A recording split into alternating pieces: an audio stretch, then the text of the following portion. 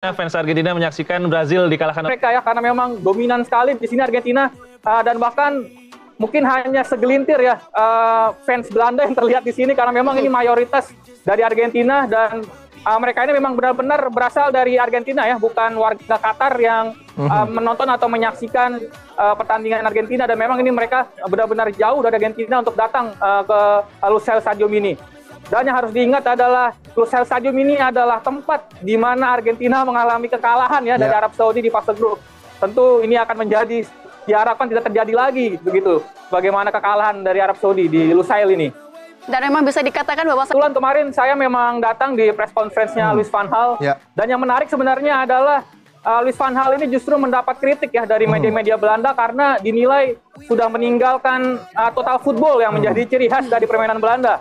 Karena memang cenderung defensif dan kemarin pun Luis van Gaal sudah mengatakan tampaknya akan mempertahankan uh, strategi defensif saat uh, melawan Argentina ini karena memang uh, menurut seorang Luis van Gaal uh, gaya sepak bola saat ini sudah mulai berbeda dan tampaknya memang strategi yang tidak terlalu ofensif ini akan kembali diterapkan oleh Luis van Gaal pada pertandingan kali ini.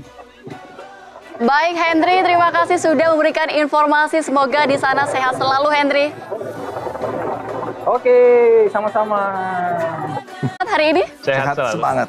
luar biasa sekali. Hari ini kita akan menyaksikan pertandingan yang klasik pemirsa di mana ini merupakan pertemuan mereka ke-6 kali dalam ajang Piala Dunia dan terakhir bertemu pada tahun 2014 di mana dimenangkan oleh Argentina pada waktu itu dalam babak semifinal dalam adu penalti. Ini merupakan rekor yang luar biasa pada pada awalnya mereka Grafik penampilannya meningkat Iya. dan menuju ke laga kali ini diharap Kita langsung saja sudah terhubung bersama Hendry yang berada di Qatar. Halo, halo Hendry.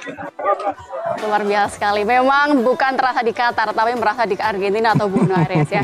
membuat kita iri ya atmosfer yang tersaji luar biasa pertandingan juga istimewa antara Argentina menghadapi banyak kritisi ya buat Ya. Van Gaal dengan approach yang berbeda approach yang Eh, seri di grup A dan mempunyai penampilan yang memukau selama laga pembuka sampai di babak perempat final. Apakah hal ini tidak dikatakan cukup bagi Van Hal mengantarkan timnya sampai di titik ini? ya memang memang kan yang bisa ball playing ini menarik